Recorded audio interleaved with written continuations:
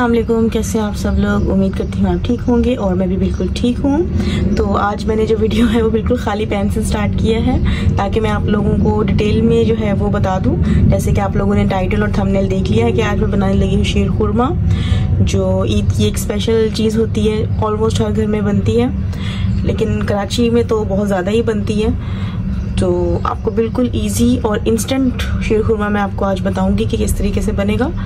तो सबसे पहले आप पैन ले लीजिए और अच्छे से वॉश कर लीजिए और आप अपने हिसाब से कोई भी स्पून ले लीजिए स्पैचूला ले लीजिए या आ, मैंने तो ये डोई यूज़ की है। क्योंकि मैं अपने खानों में ज़्यादातर डोई ही यूज़ करती हूँ। मम्मा कहती हैं, इससे जो है वो खाना ज़रा अच्छा बनता है। तो अभी सबसे पहले हम पैन को गर्म करेंगे और उसका सारा पानी खुश करेंगे। ये देखिए, पैन जो है वो गर्म हो चुका है।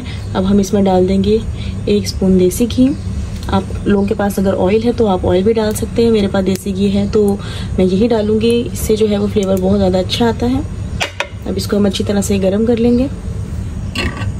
अब घी जो है वो पूरी तरह से मेल्ट हो गया है और गर्म भी हो गया है। इस स्टेज में हम इसमें डाल देंगे।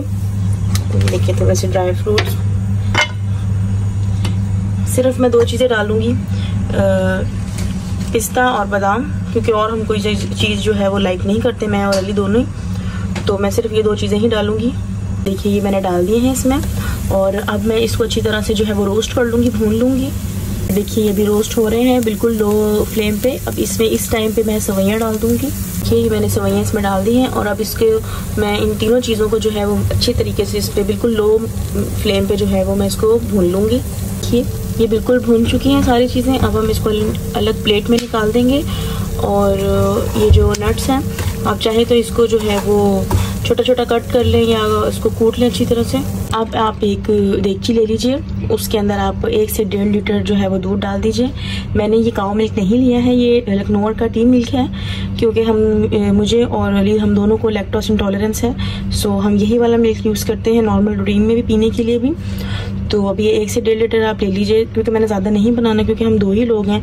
बच्चे भी ज़्यादा नहीं खाते थोड़ा बहुत ही खाते हैं। और हमारे विले में जिनको मैंने देना था, वो सब ऑलरेडी जा चुकी है, कहीं घूमने फिरने।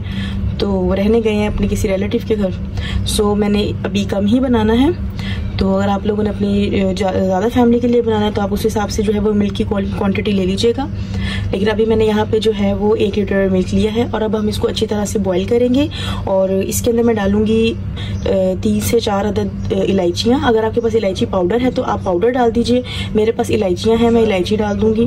तो इलायची भी डाल देंगे तो कोई ऐसा वो नहीं होगा, उसमें सिर्फ़ खुशबू, एक फ्लेवर आना चाहिए, वो आ जाएगा। ये देखिए मैंने जो है चार अदद इलायचियाँ ले ली हैं।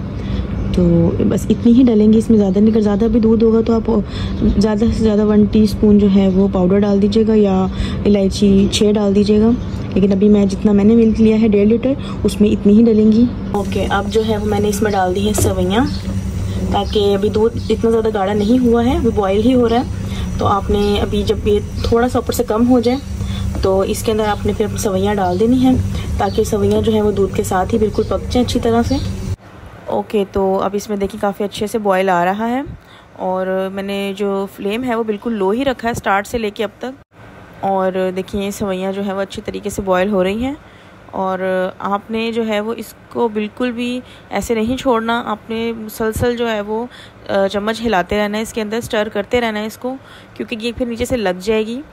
तो और देखिए, इसके अंदर जो है वो मैंने थोड़े बहुत बादाम डाल दिए हैं और थोड़े से मैंने पिस्ते भी डाल दिए हैं, लेकिन जो ज़्यादा ड्राई फ्रूट है वो मैं एंड में डालूँगी, इसमें अभी नहीं ज़रूरत है। लेकिन इसको बिल्कुल भी आपने नहीं छोड़ना, इसको स्टर करते रहें लो फ्लेम पे ही रखना है हाई या मीडियम नहीं करना। और ये देखिए, मैंने इसमें जो है वो सारे ड्राई फ्रूट्स डाल दिए हैं, और देखिए काफ़ी अच्छी इसकी जो है वो लुक हो गई है। और बस अब हमने ज़्यादा देर इसको नहीं, इसमें जो है वो फ्लेम ज़्यादा देर तक ऑन नहीं रखना। इसको बंद कर देना है फ्लेम को।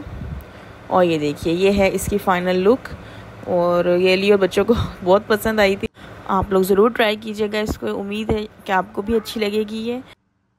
और इसी के साथ मैं आज की वीडियो का करती हूँ एंड इंशाल्लाह आपसे फिर मुलाकात होगी। तब तक के लिए अल्लाह हाफिज़।